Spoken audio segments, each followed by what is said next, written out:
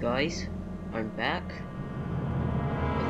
with another episode of Back to the Future. Um, in this episode, we're going to keep playing until we come back to the DeLorean, which doesn't take too long. So, yeah. Doc?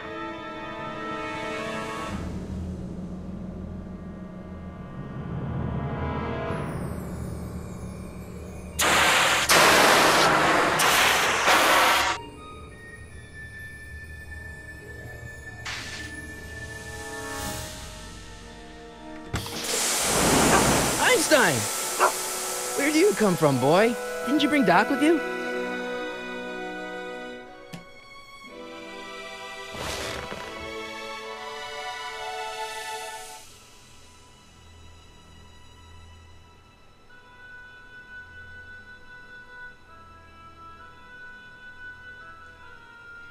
So, we're in the DeLorean right now, and there's a shoe and a tape. Tape, shoe. Okay, Doc, I know I haven't seen you in a few months, but I'm pretty sure this isn't your shoe. It's not his. Marty? Ah! Marty, if you're hearing this recording, then the DeLorean's automatic retrieval feature is a resounding success. Automatic retrieval? In case of my failure to return to the DeLorean within an allotted time, I programmed the time machine to jump to these four-dimensional coordinates without me. As you are well aware, time travel is an inherently risky activity, and despite my elaborate precautions, there's always a possibility that I could land in trouble sometime. And that sometime is now, or then, or uh, maybe later. He's in trouble. Marty, you come to my rescue in the past. Or was it the future? Anyway, I'm relying on you to do it again. Please take the DeLorean back, or, or forward, to whatever it is I'm stuck in time. When you get there, I'm sure you'll figure out what to do. That's it? Aren't you gonna tell me when that is? Just go to the date specified on the time circuit readout under the heading marked Last Time Departed. Good luck. Right, right. Last time departed. Last time departed. Uh, oh, jeez. Come on, come on. Come on. Crap! Oh, great. How am I supposed to find him now?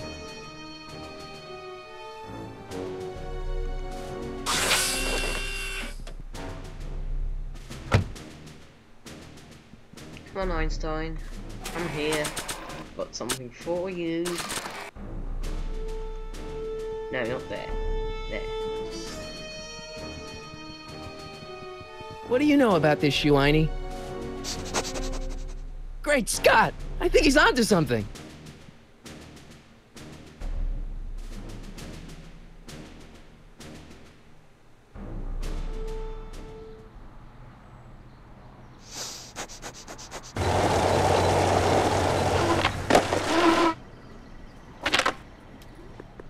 Okay, now we're getting somewhere.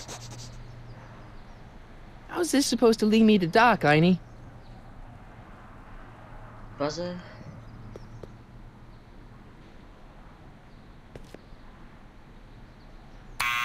Step away from the door! Ah! Now, let me get a look at you. Einstein, come on! Just as I suspected. Hooligans! Get along now! Scat! Uh, this one. Can you let me in? I've got something to show you. What is it? Let me see. Shoes?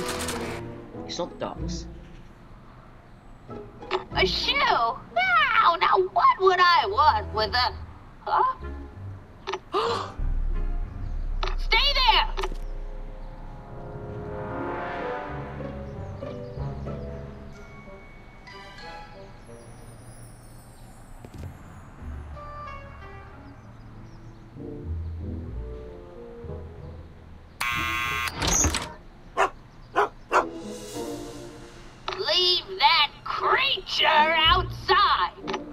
creature.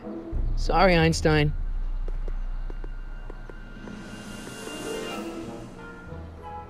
The bad one.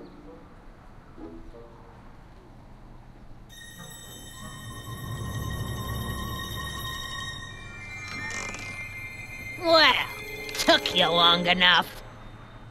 Um, there's a lot of stairs. To return the shoe, I mean. I lost it ages ago. You can put it down next to the other one. Hmm, much better. So neat and orderly. Yeah, I suppose you'll be wanting some sort of reward now. No, I. All I've got is tea and candy. But I'm sorry I called you a hooligan. I try not to jump to conclusions, but after all, nine out of ten people in this city are hooligans. It's a fact. Look it up.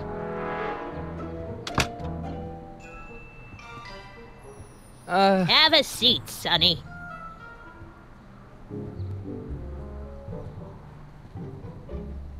Hey! You kids! Put out those cigarettes! Okay. Don't touch those! My newspapers are in pristine condition and meticulously organized. Not about to let some street punk get jam all over them.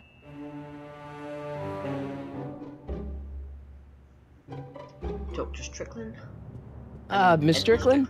Jack! Diane! I know what you're doing behind that tree! Yes?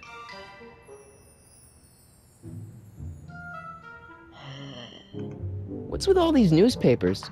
This is my personal archive. I've got every issue of the Hill Valley Telegraph ever published. Get out! Every single issue? From 1871 to the present. If it happened in Hill Valley, you'll find it in my stacks.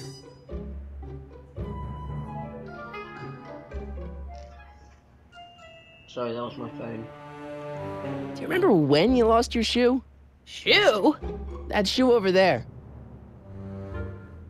Oh, that shoe! Huh. Aye, what a nosy Nelly! No one likes a busybody, you know. But Oh, fine, let me think about it. Uh. Yes, I, I remember. I, I lost it in a scuffle with a, a dog. Oh, when was it? Oh, yes. The day that speakeasy burned down. a speakeasy in Hill Valley? Don't act so surprised, young man. Your generation doesn't hold a copyright on moral depravity, you know. Sin has been on the prowl in Hill Valley since the day it was founded. Okay. Wow, a speakeasy. That must have been wild. Is it true they used to drink gin out of slippers like my grandma said? Don't romanticize the past, young man.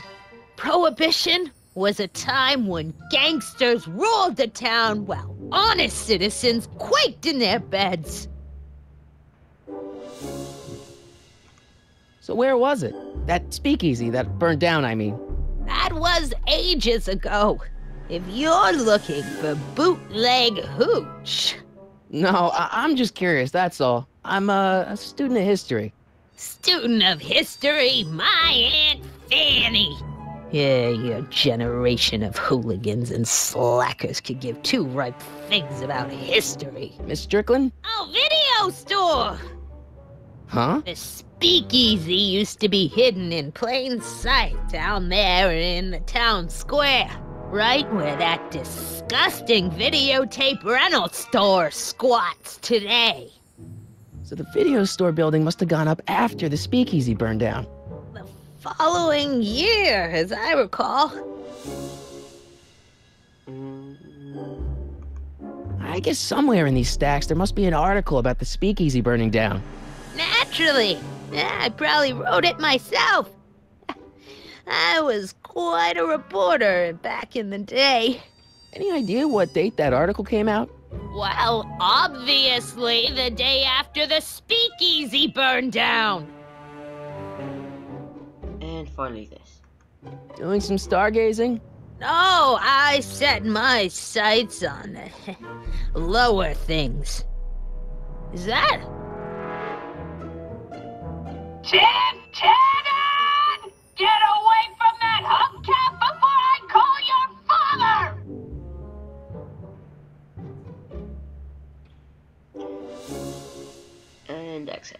Don't let me keep you from your business.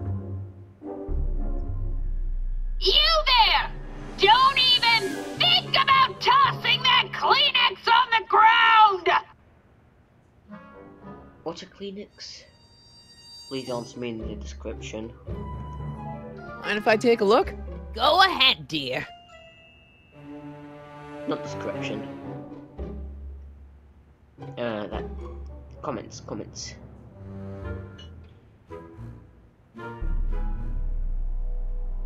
Rebuilt in February 1932. So the fire must have happened before then. But when? I need a date. Don't look at me. I'm far too old for you. Okay. Turn up the heating, or is it turn down? Yeah, turn down. Man, she keeps it hot in here. The kettle. I'll be right back with some tea. And don't touch anything.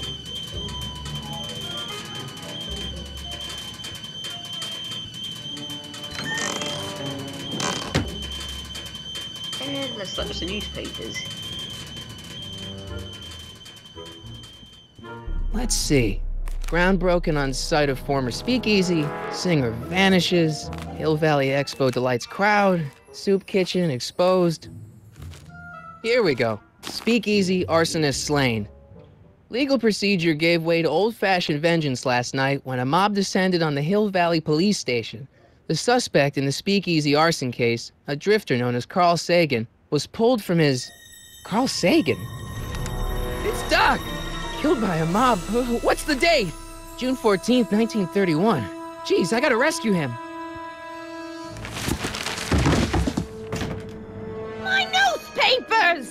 Sorry, Miss Strickland. Uh, let me. No! You've gotten my history out of order!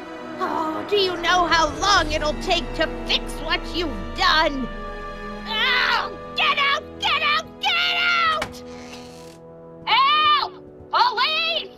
I'm being attacked by hooligans!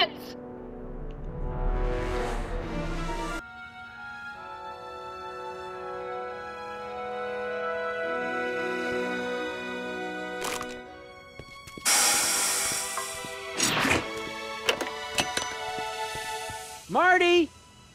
Where you been, son? And what are you doing in that getup? Uh, which one should I choose? That. It's uh, my uniform. Uh, didn't I tell you? I uh, I got a job. At the Model T factory? Yeah. Uh, n- no. Never mind, you don't have to explain. I'm sure whatever it is you're up to, you know what you're doing, right? I hope so. Hey, sometimes you gotta go out on a limb for the ones you love, right? Wish my dad had understood that. You won't stay away too long. You'll barely know I was gone.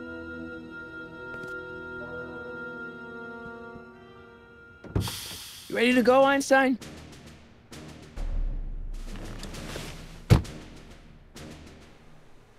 Okay, guys, I think I should end this here.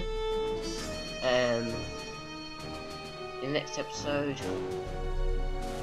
uh, just try to think how long the next episode will be. Um, I guess getting young Emmett on our side is how far we'll go in the next episode, and yeah, that's how we'll go. So, see you guys. Have a good day. Bye.